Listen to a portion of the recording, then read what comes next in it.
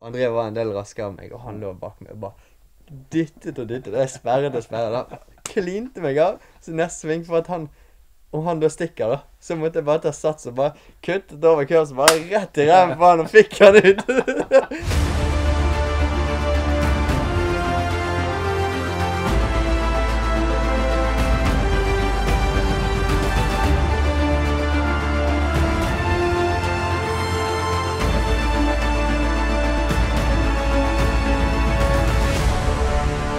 er sånn at uh, det mangler to trofeer i det kjøleskapet mitt, og det er et NM-gull i gokart og et VM-gull i rallycross.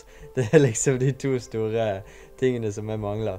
Uh, og, og det Jeg har lagt ned ganske mye energi, tid og, og trening, og det, det, karting er supervanskelig. Altså det, det er folk som legger ned eh, like mye og, og mer tid enn meg i gokartkjøring, som er, er superraske. Og, og det man må skjønne med karting òg, det, det kreves litt budsjett. Det kreves eh, eh, motorer og liksom som vi kjører med motor med gir og, og sånne ting. Så, det, så er det liksom fintuning helt til fingerspissen. Og karting, der skal man også ha litt flaks.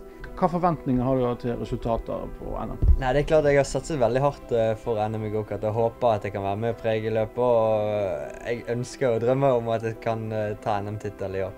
Men jeg vet eh, Og det, dette her er det harde. Jeg, eh, Bestekompisen min André Steindal, han, eh, han er, tror jeg nok blir den argeste, argeste konkurrenten. Og det er litt sånn her Jeg har kjørt VM, EM, NM i alle år, men liksom det å å konkurrere med, med kompis, det er en helt ny greie for meg. da. Eh, Det, det er merkelig, men jeg gleder meg også.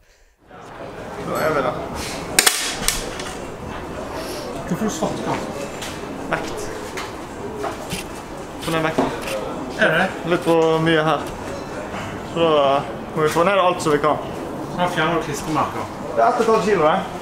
Er det? Ja. 1,5 kilo er det godt. Så jeg er litt redd for at vi begge to står i en eller annen sving etter halvkjørt finale. Eh, vi, har, vi har vært superjevne på trening. Eh, på tørt så har kanskje jeg vært litt raskere på rundetid.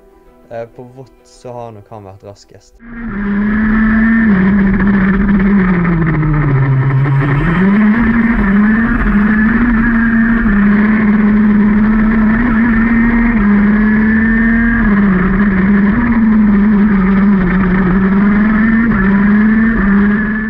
Jeg tror det blir veldig spennende. Jeg tror det blir kult for publikum å se òg. Altså, de kartene går 0 til 100 på 2,6 sekunder. Sant? Det er jo sinnssykt raskt. Uh, og det er close fighting fra start til mål. Og i finalen så er det forventes at vi kjører 25 runder.